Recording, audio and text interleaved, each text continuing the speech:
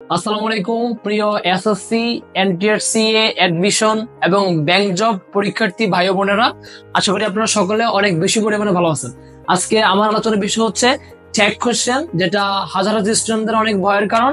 So আজকের এই ভিডিওতে আমি ট্যাগ কোশ্চেন এত ভালো করে আপনাকে বোঝাবো, বাংলাদেশের আর কোনো টিচারের কাছে আপনাকে ট্যাগ কোশ্চেন পড়তে হবে না, আশা করি। সো পুরো ভিডিওটি আপনারা দেখবেন, ভিডিওটি বেশি বর্ণনা করে স্টার্ট করি। ট্যাগ কোশ্চেন মানে কি? ট্যাগ কোশ্চেন মানে হচ্ছে যে ট্যাগ শব্দ অর্থ হলো জুড়ে দেওয়া, আর কোশ্চেন মানে হচ্ছে প্রশ্ন। তো ট্যাগ কোশ্চেন শব্দ অর্থ হলো প্রশ্ন জুড়ে দেওয়া। এবার ট্যাগ কোশ্চেন কাকে বলে? যে বক্তা তার বক্তব্য সম্পর্কে শ্রোতার মতে যাচাইয়ের জন্য অনেক সময় বক্তব্য শেষে ছোট ছোট প্রশ্ন জুড়ে দেয়। ওই ছোট ছোট প্রশ্নগুলোকেই ট্যাগ কোশ্চেন বলে। তাহলে ট্যাগ অর্থ, শব্দ অর্থ হচ্ছে জুড়ে দেওয়া, আর কোশ্চেন মানে হচ্ছে যে প্রশ্ন। তো ট্যাগ কোশ্চেন শব্দ অর্থ কি? ট্যাগ কোশ্চেন শব্দ অর্থ হচ্ছে প্রশ্ন জুড়ে দেওয়া। ট্যাগ কত প্রকার। ট্যাগ হচ্ছে দুই প্রকার। একটা হচ্ছে অ্যাফার্মেটিভ ট্যাগ মানে হ্যাঁ বোধক ট্যাগ আর হচ্ছে নেগেটিভ ট্যাগ আর হচ্ছে না বোধক ট্যাগ সেকেন্ড যে বিষয়টা, সেটা হচ্ছে ট্যাগ করতে হলে কি কি বিষয় জানতে হবে আপনাকে? চারটি বিষয় আপনাকে জানতে হবে একদম বিগিনারদের জন্য। নাম্বার ওয়ান সাবজেক্ট চিনতে হবে। নাম্বার টু মূল ভার্ব বা মেইন ভার্ব চিনতে হবে। নাম্বার থ্রি অক্সিলারি ভার্ব জানতে হবে। নাম্বার ফোর প্রোনাউন জানতে হবে। নাম্বার ফাইভ সেন্টেন্সটি অ্যাফার্মেটিভ নাকি নেগেটিভ সেটা বুঝতে হবে। নাম্বার সিক্স সেন্টেন্স চিনতে হবে যেটা কোনটা কোন সেন্টেন্স সেটা আপনাকে বুঝতে হবে। নাম্বার সেভেন সিঙ্গুলার নাকি প্লুরাল সম্পর্কে আপনার ধারণা থাকতে হবে। একটা বাক্যটি সিঙ্গুলার নাকি প্লুরাল সে সম্পর্কে আপনাকে বুঝতে হবে সেটা সম্পর্কে আপনার ধারণা থাকতে হবে। সেই আমরা দেখব ইংলিশ গ্রামারের সাবজেক্ট দশটা। I we you you he she it they name there এই পর্যায়ে আমরা দেখব অপারেটর বা অক্সিলারি ভার্ব ইংলিশ গ্রামারের অপারেটর বা অক্সিলারি ভার্ব টোটাল চব্বিশটা। Am is are was were has have have do did does shall, should, will, would, can, could, may, might, ought to, used to, need, dear, must. এই হচ্ছে auxiliary verb চব্বিশটা। এখন আপনাকে এই auxiliary verb চব্বিশটার negative যে ফর্মগুলো আছে এই negative ফর্মগুলো আপনাকে মুখস্থ করতে হবে। কারণ এক কোশ্চেন করতে গেলে একটা positive form and negative form দুইটা লাগবে। এখন দেখেন এম নট যদি আপনার এম নট থাকে কোনো সেন্টেন্সে আপনি যখন সেটা ট্যাগ কোশ্চেন করবেন সেখানে আপনি লিখতে হবে আর এন্ড বা এইন্ট ইজ নট এটা হবে ইজেন্ট আর নট এটা হবে aren't was not wasn't were not weren't has not hasn't have not haven't had not hadn't তারপর দেখেন do not don't did not didn't does not doesn't shall not shan't এটা একটু ব্যতিক্রম মনে রাখবেন। Point to be noted shall not shan't should not shouldn't will not won't would not wouldn't তারপর can not can't মনে রাখবেন will not এবং can not দুটা ব্যতিক্রম। Can not can't could not couldn't may not mind might not mightn't you মানে to ought not oughtn't আর হচ্ছে used not usedn't need not needn't R dare not daren't আর must not mustn't so নেগেটিভগুলো সবাই মুখস্থ করে রাখবে, আমি প্রোনাউন্সিয়েশনটা বলে দিলাম দ্যাটস ভেরি ইম্পর্টেন্ট এগুলো যদি আপনি মুখস্থ না করেন বা না জানেন, তাহলে আপনি কিন্তু ট্যাকোশন করতে পারবেন না। ঠিক আপনাকে যেটা বললাম point to be noted so এগুলো একটু দেখে রাখেন can not can't will not willn't হওয়ার কথা ছিল, কিন্তু হয় নাই। এটা হচ্ছে ওন্ট ব্যতিক্রম কন্ট্রাকশন এটা আপনি আপনাকে মাথায় রাখতে হবে। শ্যাল নট শান্ট এটা কিন্তু কিন্তু ভুল করা যাবে না ভাই। এম নট এটা যখন আপনি ট্যাকুশনে আপনার স্টেটমেন্টে এম নট থাকবে যখন আপনি এটা ট্যাকুশন করবেন, তখন আপনি লিখবেন আর্ট বা ain't my dear viewers tag কোশ্চেনের মানে স্টেটমেন্টের মধ্যে যে সাবজেক্টগুলো দিবে, ওই সাবজেক্ট অনুযায়ী আমরা ট্যাগ কোশ্চেনের মধ্যে তার প্রোনাউনটা লিখব। তো খুবই ইম্পর্টেন্ট এই লেকচারটা দেখেন, সাগর, একজন, একটা ছেলে বা একজন ব্যক্তি, তার প্রোনাউনটা হবে হি মারিয়া, একটা মেয়ে, তার প্রোনাউনটা হবে she so Allah God the creator কোন সৃষ্টিকর্তার নাম যখন বলবে, তার প্রোনাউনটা অলওয়েজ হি মানে এটা হবে ম্যাসকিউলিন জেন্ডার অল যদি কোনো বাক্যের সাবজেক্ট অল থাকে, তার প্রোনাউন হবে ইট অলের পর যদি কোনো নাউন থাকে, তাহলে তার প্রোনাউনটা হবে দেই আর এখানে মনে রাখবেন, যা ধরা, গুণা বা ছোঁয়া যায় না। যা ধরা, গুণা বা ছোঁয়া যায় না। যেমন কাইন্ডনেস অনেস্টি পোলাইটনেস ভার্চু এই জিনিসগুলো ধরা যায় না। এই জিনিসগুলো হচ্ছে বস্তু। পৃথিবীতে সকল বস্তুর প্রোনাউন ইট হয়। তাহলে আপনি সকল সাবজেক্টে যদি কোনো বস্তু থাকে, তার প্রোনাউনটা আপনি লিখবেন হচ্ছে it his father his mother his brother his sister father mother brother সিস্টারের পূর্বে যদি প্রোনাউন হিজ থাকে, তার তার প্রোনাউনটা আপনি লিখবেন, তার জেন্ডার অনুযায়ী। যদি বাবা হয় ম্যাসকুলিন যেটা, তার প্রোনাউন হবে হি মা হলে ফেমিনিন যেটা, তার প্রোনাউন হবে শি তারপর যেটা ফাদার মাদার ব্রাদার সিস্টারের পূর্বে যদি আর্টিকেল দা থাকে, তাহলে তার প্রোনাউনটা হবে it it point to be noted এই দুটা নিয়ম খুবই ইম্পর্টেন্ট এগুলো এসএসসি পরীক্ষার মধ্যে আসে। বার্ড কয়টা পাখি? একটা পাখি, তাহলে তার প্রোনাউনটা হবে ইট বার্ডস পাখিগুলো, তাহলে সাবজেক্ট প্লুরাল মানে শব্দটা প্লুরাল তাহলে তার প্রোনাউনটা হবে দেই এই জন্য আমি আপনাকে বলছি সিঙ্গুলার প্লুরাল সম্পর্কে আপনার ধারণা থাকতে হবে। আর স্টুডেন্ট কজন ছাত্র? একজন ছাত্র। তাহলে তার প্রোনাউনটা হবে হি অথবা সি কারণ ওই স্টুডেন্ট ছেলে হইতে পারে, মেয়ে হইতে পারে। স্টুডেন্টস ছাত্র ছাত্রীরা মানে অনেকগুলো ছাত্রছাত্রীরা, তাহলে তার প্রোনাউনটা হবে দেই এরপর যে আমরা দেখব ট্যাগ কোশ্চেনের নিম্নলিখিত সংক্ষিপ্ত রূপগুলো জেনে নিতে হবে। কারণ সংক্ষিপ্ত রূপগুলো যদি আপনি বাক্যের মধ্যে সাবজেক্ট এবং তার সাথে কোন অক্সিলারি ভাব আছে সেটা যদি আপনি না ধরতে পারেন, তাহলে আপনি ট্যাগ কোশ্চেন চেঞ্জ করতে পারবেন না। কারণ আপনাকে অক্সিলারি জানতে হবে অক্সিলারি আপনাকে মাস্ট চিনতে হবে। দেখেন I have to be am এটা হবে আই এম তারপর হচ্ছে ইউ আর এটা হবে you have to be are E he is he have to be is he will এটাকে নেগেটিভলি লেখা যায় হচ্ছে যে অ্যাপোস্ট্রফিতে লেখা যায় হি অ্যাপোস্ট্রফি এল এল দেই আর এটাকে লেখে দেই ই সুতরাং এটা না এটা খুবই দেওয়া আছে এখানে সবগুলো আপনারা সুতরাং এটা না এটা আপনারা জেনে নেবেন, এটা খুবই ইজি এত বেশি কমপ্লেক্স মানে কমপ্লিকেটেড না। আপনি জাস্ট বাসার মধ্যে লিখে লিখে প্র্যাকটিস করবেন। সো এখন যে পার্টটা সেটা হচ্ছে আপনাদেরকে যে বিষয়টা মনে রাখতে হবে, সেটা হচ্ছে সাধারণত অ্যাফার্মেটিভ সেন্টেন্সে নেগেটিভ ট্যাগ হয়। কোন একটা সেন্টেন্স যদি অ্যাফার্মেটিভ হয়, তার ট্যাগ কোশ্চেনটা হবে নেগেটিভ আর কোন একটা সেন্টেন্স যদি নেগেটিভ হয়, তার ট্যাগ কোশ্চেনটা হবে অ্যাফার্মেটিভ সেই সাথে স্টেটমেন্ট মানে যে সেন্টেন্সটা আপনাকে দিবে, ওই আপনাকে একটা কমা দিতে হবে এবং ট্যাগ শেষে প্রশ্নবোধক চিহ্ন দিতে হবে। আপনারা যারা এসএসসি লেভেলে পরীক্ষা দিবেন, কাগজের মধ্যে আপনাকে সেন্টেন্সটা লিখতে হবে। সেন্টেন্স লেখার পরে একটা কমা দিতে হবে, তারপর আপনি লম্বা করে একটা টান দিবেন, শেষে একটা প্রশ্নবোধক চিহ্ন দিবেন। So my dear viewers this is the actual slide এতক্ষণ আমরা যে বিষয়টা আলোচনা করছি, এটা ছিল basic part so this part is very very most important for every kind of beginners দেখেন এটা হচ্ছে স্টেটমেন্ট এটা হচ্ছে একটা statement I must do the duty I can't swim in the pond আমি অবশ্যই ডিউটিটি করব। আমি পুকুরে সাঁতার কাটতে পারি না। দেখেন, একটা স্টেটমেন্ট হচ্ছে মানে একটা বাক্য হচ্ছে পজিটিভ একটা বাক্য হচ্ছে নেগেটিভ এখন দেখেন, আমি এখানে লিখলাম ট্যাগ কোশ্চেন এখানে লিখলাম ট্যাগ কোশ্চেন ট্যাগ কোশ্চেনটাকে আমি দুইটা পার্টে ভাগ করছি। প্রথম পার্টে হবে তার অক্সিলারি ভার্ব দ্বিতীয় পার্টে হবে সাবজেক্টের প্রোনাউন সাবজেক্টের প্রোনাউন প্রথম পার্টে হবে অক্সিলারি ভার্ব দ্বিতীয় পার্টে হবে সাবজেক্টের প্রোনাউন এবার মনে করেন দিস ইজ মাই বডি এখন এটা হচ্ছে আমার রাইট সাইড এটা হচ্ছে মানে রাইট হ্যান্ড সাইড এটা হচ্ছে লেফট হ্যান্ড সাইড আপনি মনে রাখবেন, দেখেন রাইট হ্যান্ড সাইড বরাবর হচ্ছে সেন্টেন্স মানে স্টেটমেন্ট আর লেফট হ্যান্ড সাইড বরাবর হচ্ছে আপনার হচ্ছে ট্যাগ কোয়েশ্চেন এখন আপনি দেখেন, যদি আপনার ডান হাত মানে লেফট হ্যান্ড সাইড যদি আপনার ডান হাত মানে রাইট হ্যান্ড সাইড যদি পজিটিভ সেন্টেন্স হয়, তাহলে ট্যাগ কোয়েশ্চেনটা আপনি মানে লেফট হ্যান্ড সাইডটা হবে নেগেটিভ এটা যদি নেগেটিভ হয়, তাহলে লেফট হ্যান্ড সাইডটা হবে পজিটিভ মানে আমি যদি বাংলায় বলি, ডান হাত যদি পজিটিভ হয়, তাহলে বাম হাত হবে নেগেটিভ মানে ডান হাত যদি হ্যাঁ বোধক হয়, বাম হাত হবে না বোধক আবার আমি বলি, যদি ডান হাত যদি না বোধক হয়, তাহলে বাম হাতটা হবে হ্যাঁ বোধক তার মানে আমি আবার বলতেছি ট্যাগ কোশ্চেনের মধ্যে এ সাইড মানে সেন্টেন্সের সাইডটা হবে আপনার পজিটিভ আর ট্যাগ সাইডটা হবে নেগেটিভ একটা একটু উল্টা। যদি আবার সেন্টেন্সের সাইডটা যদি হয় নেগেটিভ তাহলে মানে কোশ্চেন সাইডটা হবে আপনার পজিটিভ সো এই হচ্ছে কথা। এখন দেখেন I must do the duty আমি অবশ্যই ডিউটি করব। এটা হচ্ছে হ্যাঁ বোধক একটা সেন্টেন্স তাহলে আপনি ট্যাগ কোশ্চেনের না বোধক লিখবেন। না বোধক লিখবেন, কোন কোন জিনিসগুলো লিখবেন? প্রথমে আপনাকে দিতে হবে একটা অক্সিলারি তারপর দিতে হবে একটা সাবজেক্ট অক্সিলারি কি আছে এখানে? এই যে মাস্ট একটু আপনারা যেটাকে পড়াইলাম মাস্টের নেগেটিভ প্রভাব মাস্টেন তার সাবজেক্ট প্রোনাউনটা কি? আই এই যে আই দেওয়া আছে। এবার দেখেন I can't swim in the pond এখানের মধ্যে যে কেন কেন মানে কান্ট আছে, এটা নেগেটিভ তাহলে তার পজিটিভটা কি হবে? এই যে ক্যান এবং তার সাবজেক্টটা কি আছে এখানে? এই যে আই তার সাবজেক্ট আমি দিলাম I so this is actually tag question so এটার ভেতরে এটা হচ্ছে আপনার বেসিক কনসেপ্ট আপনাকে আমি বুঝাইলাম আপনি বুঝছেন এটা অনেক ইজি আপনি জাস্ট এটাকে একটু মানে ওভারভিউ চিন্তা করেন। হ্যাঁ থাকলে এই যে না আহ, না হ্যাঁ বলতে থাকলে এই যে এখানে না বোধক হয়েছে আর এখানে না বোধক আছে তাহলে এখানে হ্যাঁ হয়েছে এই জিনিসটা হচ্ছে কনসেপ্ট আর ডেকোরেশনের মধ্যে কয়টা পার্ট দুইটা পার্ট আমি ভাগ করছি আপনাকে একটা হচ্ছে অক্সিলারি একটা হচ্ছে সাবজেক্ট আপনাকে বোঝানোর জন্য আমি এখানে ভাগ করছি। আপনি পরীক্ষা হলে ভাগ করিয়েন না। জাস্ট আপনি অ্যান্সারটা লিখবেন ক্যান আই এখানে লিখবেন mustn't I number one যে টেকনিকটা সেটা হচ্ছে অক্সিলারি থাকলে। কোনো বাক্য যদি অক্সিলারি থাকে, তখন আমরা ডেকোরেশন ওই অক্সিলারিটা সরাসরি লিখে ফেলব। যেমন দেখেন হি ইজ এ স্টুডেন্ট তাহলে এখানে অক্সিলারি কে ইজ তাহলে ইজ এই বাক্যটা আবার স্টেটমেন্ট হচ্ছে হ্যাঁ বোধক। তাহলে তার ডেকোরেশনটা হবে কি? না বোধক ইজেন্ট ইজেন্ট হি এবার দেখেন দে আর প্লেইং ফুটবল এই যে এখানে পজিটিভ অক্সিলারি ব্যবস্থা আর দিলাম আর এন্ড আর দেই হচ্ছে তার সাবজেক্ট দিলাম দেই। বার্ডস ক্যান ফ্লাই পাখিরা খেলা করে। এখন খেলা করতে পারে। এখন এখানে দেখেন ক্যান ক্যান নেগেটিভ ফর্ম হবে কান্ট আর বার্ডস এটা হচ্ছে প্লুরাল তাহলে তার প্রোনাউনটা হবে দেই।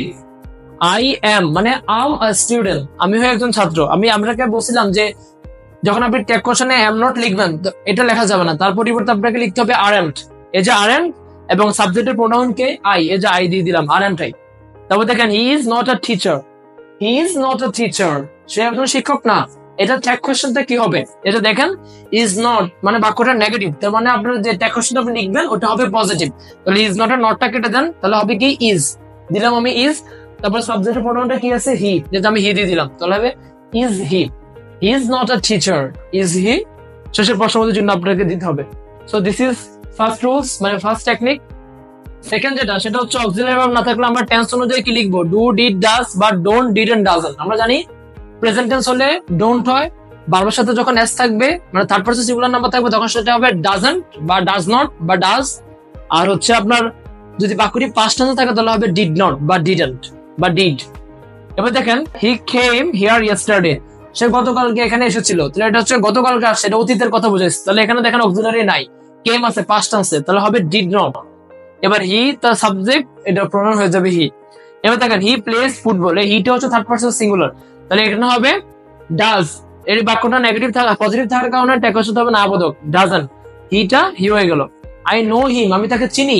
দেখেন নোটা প্রেজেন্ট টেন্স তার প্রেজেন্ট টেন্সে কি হয়? প্রেজেন্ট টেন্সে হয় ডু বা ডোন্ট এবার দেখেন স্টেটমেন্টে কি? হ্যাঁ বোধক তাহলে ট্যাকশনে কি হবে? না বোধক তাহলে নো ডুটা হয়ে যাবে ডোন্ট অর্থাৎ সাবজেক্ট হচ্ছে কে? আই তিন নম্বর যে রুলসটা সেটা হচ্ছে বডি ওয়ান দিস দোস কোন অর্ডার শেষে যদি বডি থাকে বা ওয়ান থাকে, যেমন everybody one anybody anyone nobody no one none এবং দিস দোস থাকে, তাহলে তাদের প্রোনাউনটা হবে দেই এবার দেখেন এভরিবডি ডিসলাইকস আ লায়ার প্রত্যেকেই একজন মিথ্যাবাদীকে ঘৃণা করে। এবার দেখেন আপনি এভরিবডি শেষে বডি আছে। তাহলে থাকলে আপনি প্রোনাউন দেই লিখবেন। আপনাকে প্রথমে একটা কথা আমি বলছিলাম যে সকল প্লুরাল সাবজেক্টে তার প্রোনাউনটা হবে দেই এবার দেখেন এভরিবডি কিন্তু অনেককে বুঝাইছে। যে প্রত্যেকেই মিথ্যাবাদীকে ঘৃণা করে মানে অপছন্দ করে। তার মানে সবাই করে, তাহলে এটা প্লুরাল তাহলে তার প্রোনাউনটা হবে দেই এবার দেখেন ডিসলাইকস ডিসলাইকস এস আছে, তার মানে এখানে ডাজেন্ট হওয়ার কথা।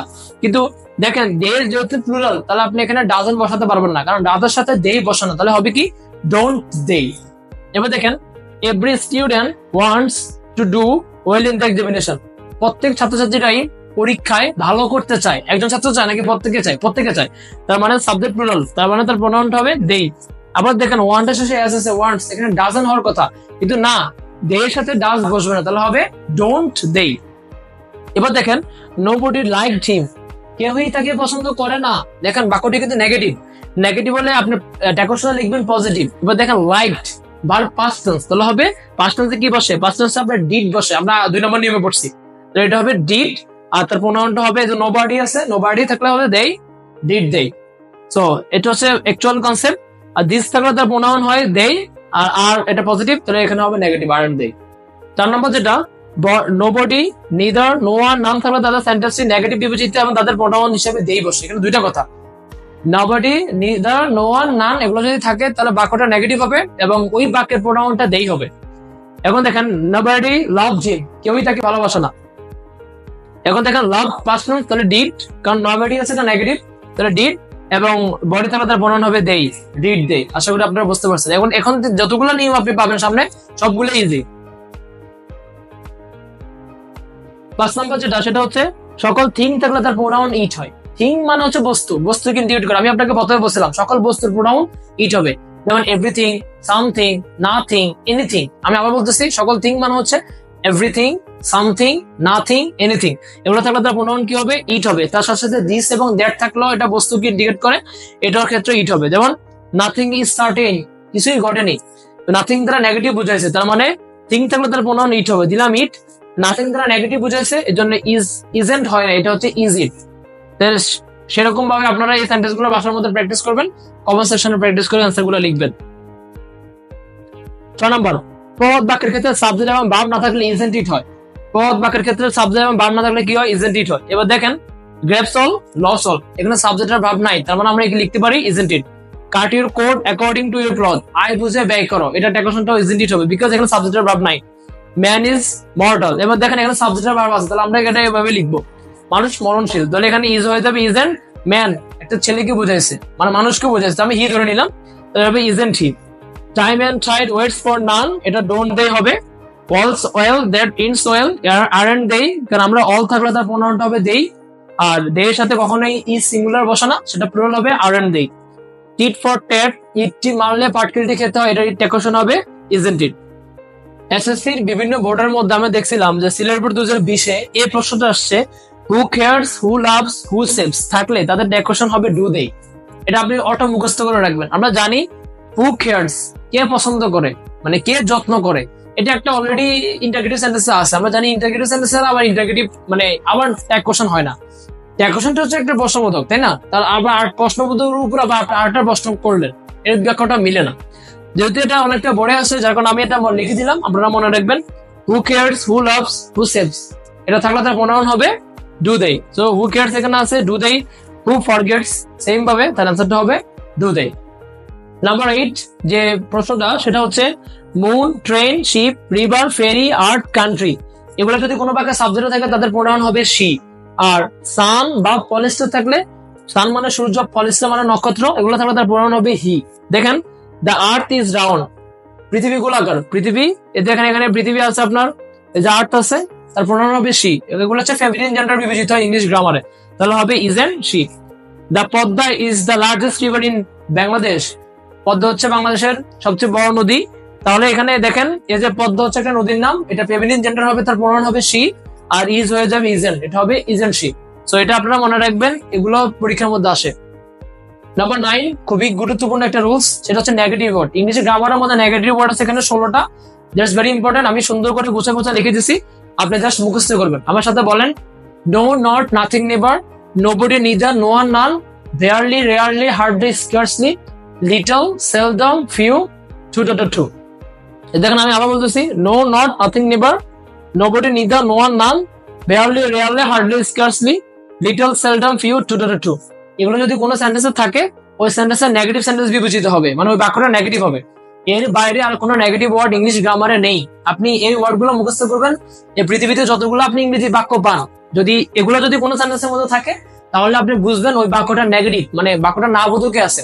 আর যদি এগুলো কোনো সেন্টেন্সে না থাকে, তাহলে আপনি চোখ বন্ধ করে বুঝে নেবেন, এটা হচ্ছে অ্যাফার্মেটিভ মানে হ্যাঁ বোধক বাক্যের মধ্যে আছে। তবে আ ফিউ আর লিটল যদি থাকে, তাহলে ওই বাক্যটা অ্যাফার্মেটিভ হবে। মানে লিটল এবং ফিউ যদি আর্টিকেল থাকে, তাহলে বাক্যটা অ্যাফার্মেটিভ হবে নেগেটিভ হবে না। দেখেন he has hardly rain at this summer এখানে হার্ডলি আছে, তার মানে বাক্যটা নেগেটিভ হ্যাজ হয়ে যাবে হ্যাজ আর ইট হয়ে যাবে it has it he is too weak to walk সে এতই দুর্বল যে হাঁটতে পারে না। পারে না। তাহলে এটা না বোধকে আছে? তাহলে হবে ইজ হি নাম্বার টেন যে রুলসটা সেটা হচ্ছে লেটস বা লেটাস্ট যুক্ত ইম্পারেটিভ বাক্যের টেকোশন কি হবে? সরাসরি সেইলুই হয়। আমি আবার বলতেছি লেটস বা লেটার যুক্ত যতগুলো ইম্পারেটিভ সেন্টেন্স থাকবে, সবগুলো সেন্টেন্স আপনার টেকোশন চোখ বন্ধ করে সেইলুই লিখবেন। আর বাকি সকল ইম্পারেটিভ বাক্যের টেকোশন উইলি হবে। এখন টেকোশন ইম্পারেটিভ সেন্টেন্স আপনি কীভাবে চিনবেন? Let please kindly always never don't তাহলে হচ্ছে আপনার মেন টপ দিয়ে যদি কোনো বাক্য শুরু হয়, সেটা ইম্পারেটিভ সেন্টেন্স হবে। বা আমরা আবার এটুকুম জানি যে, কোনো বাক্য যদি আদেশ, নিষেধ, উপদেশ, অনুরোধ বোঝায়, সেটা ইম্পারেটিভ সেন্টেন্স হয়। এখন দেখেন লেটস বা লেটার্স থাকলে আপনি সেলুই লিখবেন। যদি থাকে লেট রহমত লেট হি লেটার তাহলে কিন্তু উইলি হবে। শুধুমাত্র লেট আস থাকলে আপনি সেলুই লিখবেন। Point to be noted let us থাকলে আপনি সেলুই লিখবেন। বাকি সকল ক্ষেত্রে আপনার ইম্পারেটিভ সেন্টেন্সে উইলি হয়। আবার অনেকে আছে ওন টিও হয়, তবে আমরা ওন টিউটা ব্যবহার করব না, যেহেতু আমরা বাংলাদেশে আছি তো। বাংলাদেশের প্রত্যেকটা গ্রামারের মধ্যে ওনারা উইলিউ লিখছে তো আপনারা উইলিউ লিখবেন। তবে ওন টিউ লিখলে এটা ভুল হবে না। এটাও রাইট হবে বাট উইলিউ লেখাটার চেষ্টা করবেন। এবার দেখেন ডোন্ট গো দেয়ার এটা লেটস দিয়ে শুরু হয় নাই।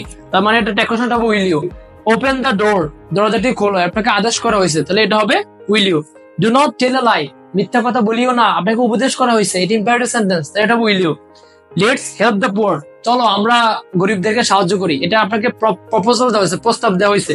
এটা হচ্ছে আপনার লেটস দিয়ে শুরু হয়েছে বাক্যটা। তাহলে এখানে হবে shall we let Rahmat make a tag question রহমতকে বলা হয়েছে যে ট্যাগ কোয়েশ্চেনটা করতে। তাহলে এটা হবে will you always speak the truth সদা, সর্বদা সত্য কথা বলো। আপনাকে এটাকে আদেশ করা হয়েছে। তাহলে এটা হবে উইল ইউ সো আপনাদের ইম্পারেটিভ সেন্টেন্সের ট্যাগ কোয়েশ্চেনটা ক্লিয়ার দুনিয়াতে যতগুলো ট্যাগ কোয়েশ্চেন আপনাকে দেখ ইম্পারেটিভ থেকে আপনি এই দুইটা কোশ্চেন মনে রাখবেন, তাইলে হয়ে যাবে।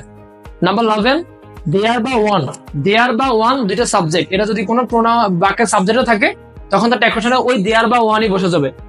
দেয়ার ইজ সামথিং রং দেখেন ইজ হয়ে যাবে ইজেন সাবজেক্টে কি আছে? দেয়ার তাহলে দেয়ারই বসবে। আবার দেখেন one should do one duty এটা অনেকবার পড়ে আসছে। শুট হয়ে যাবে স্টুডেন্ট ওয়ান হয়ে যাবে তার সাবজেক্টে তার মানে আমি বুঝালাম দেয়ার বা ওয়ান যদি কোনো সাবজেক্টের কোনো বাক্যের সাবজেক্টে থাকে, তার ট্যাগ কোশ্চেনের মধ্যে অন্য কোনো ফরওয়ার্ড আপনাকে খুঁজতে হবে না। ওই দেয়ার বা ওয়ানই বসে যাবে ডিরেক্ট সরাসরি। নাম্বার টুয়েলভ অপারেটিভ সেন্টেন্সের ট্যাগ কোশ্চেনটা কি হবে? মাইন্ড প্লাস সাবজেক্টের প্রোনাউন দেখেন লং লিভ ইউ ড্যাড তোমার বাবা দীর্ঘজীবী হোক। এটা হচ্ছে একটা অপারেটিভ সেন্টেন্স কারণ অপারেটিভ সেন্টেন্সটা লং দিয়ে শুরু হয় মে দিয়ে শুরু হয়। তাহলে ট্যাগ কোশ্চেনটা হবে কি? মাইন্ড হি কারণ বাবা তার প্রোনাউন হবে হি মাইন্ড হি আর লং লিভ আওয়ার প্রেসিডেন্ট আমাদের রাষ্ট্রপতি দীর্ঘজীবী হোক। আমাদের রাষ্ট্রপতিকে একজন ছেলে। তাহলে তার প্রোনাউনটা হবে হি আর অপারেটিভ সেন্টেন্সের জন্য তার ট্যাগ কোশ্চেনটা হবে মে নট মানে মাইন্ড অক্সিডেন্ট ভাবটা হবে। তো mind he may you be happy in life তুমি জীবনে সুখী হও।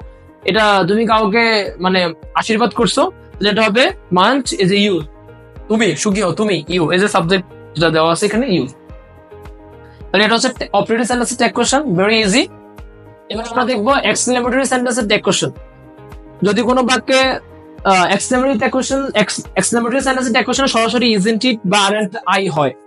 যদি কোনো বাক্যে সাবজেক্ট এবং ভার্ব না থাকে, তাহলে ট্যাগ কোশ্চেন ইজেন্ট ইট হয়। যদি কোনো বাক্যে আপনি সাবজেক্ট এবং ভার্ব খুঁজে পান না, তখন আপনি ইজেন্ট ইটটা লিখে দিবেন। যেমন দেখেন how beautiful the bird is এটা হবে ইজেন্ট ইট কারণ বার্ড হচ্ছে একটি, এটা হবে প্রোনাউন হবে ইট ইজ হয়ে যাবে isn't what a fool I am কি বোকা আমি? আই এম এর ট্যাগ কোশ্চেন হবে আর এন টাই এই যে aren't I what a pity isn't it nice isn't it কারণ এখানে কোনো সাবজেক্টের ভাব নাই। ও ওয়াও ইজেন্ট ইট আর এটাকে আমরা এভাবে বলতে পারি যে ইট ইজ ওয়াও তবে দেখেন ওকে ঠিক আছে। ইট ইজ ওকে আমি বলতে পারি ইট ইজ ওকে এখন বললে কেউ আমাকে বললে যে আপনি ঠিক আছেন? আমি বললাম যে it's okay it's okay it's okay মানে হচ্ছে ইট ইজ ওকে তো ইট ইজ ওকেটাকে মানে ওনারা ইটা ইসটা প্রোনাউন মানে এটা উজ্জ আছে। ইট এবং ইস্টা এখানে উজ্জ আছে, শুধু ওকে আছে। তার মানে এটা ট্যাকশনটা হবে ইজেন্ট ইট যদি আপনার এক্সটেমিটিভ সেন্টেন্সের মধ্যে সাবজেক্ট এবং ভার্ব না থাকে, তাহলে আপনি চোখ বন্ধ করে ইজেন্ট ইট বসে দিতে পারবেন, কোনো সমস্যা নাই। নাম্বার ফোরটিন কোন প্রকার উইশ বোঝালে ডোন্টটাই হয়। উইশ গুলাই কীরকম হইতে পারে? যেমন গুড মর্নিং শুভ সকাল হ্যাপি বার্থডে তারপর হচ্ছে গুড বাই তারপর হচ্ছে গুড নাইট হচ্ছে গুড আফটারনুন তারপর হচ্ছে আপনার গুড ইভিনিং এগুলো দ্বারা আপনার যদি কোনো উইশ বুঝায় কোনো প্রকার, সেক্ষেত্রে ডোন্টটাই হবে। তো বাক্যটা এরকম হয় যে I wish happy birthday I wish good morning I wish দিছে না আই হচ্ছে সাবজেক্ট উইশ হচ্ছে ভার্ব ভার্ব কোন টেন্স প্রেজেন্ট টেন্স প্রেজেন্ট টেন্সে কি বসে? ডোন্ট বসে। এই যে ডোন্ট টাই ওই যে আই উইশ ডোন্ট টাই আবার দেখেন আই উইশ গুড বাই তো এখানেও সেম ভাবে কি হবে? ডোন্ট টাই সো যত প্রকার উইশ বুঝাবে উইশটা কে করবে? আপনি করবেন আপনার নিকটবর্তী কাউকে। তো সেক্ষেত্রে কথাটা আসবে যে don't I how sweetly the girl sang তাহলে এখানে এই স্যাংটা পাস্ট টেন্স আছে, তাহলে আমরা এখানে লিখব ডিডেন্ট আর দ্য গার্ল একটা মেয়ের কথা বলছে এখানে, তাদের মেয়েদের প্রণয়ন কি হয়? সি তাহলে ডিডেন্ট সি এবার তো সাবঅর্ডিনেট ক্লজের ট্যাগ কোশ্চেন হয় না, তবে সাবঅর্ডিনেট ক্লজ ধযুক্ত শর্ত বোঝাবে। শর্ত ছাড়া বাকি অংশ ট্যাগ হয়। এবার আপনি দেখেন I will go if you come আমি যাইবো যদি তুমি আসো। তাহলে আমার যাওয়াটা কার উপর নির্ভর করতেছে। শর্তের উপর নির্ভর করতেছে না যদি তুমি যদি তুমি আসো। তাহলে ইফ ইউ কাম এই সেন্টেন্সের ট্যাগ কোশ্চেন হবে না। এটা তো শর্ত বুঝাইছে। আই উইল গো আমি যাব। এটা হচ্ছে তোমার শর্ত ছাড়া সেন্টেন্স মানে প্রিন্সিপাল ক্লজ ডিপেন্ডেন্ট মানে ইন্ডিপেন্ডেন্ট ক্লজ তাহলে এটা হবে ওন টাই এই যে one day he came to me সে আমার কাছে এসেছিল হোয়েন আই ওয়াজ প্লেইং যখন আমি খেলতেছিলাম।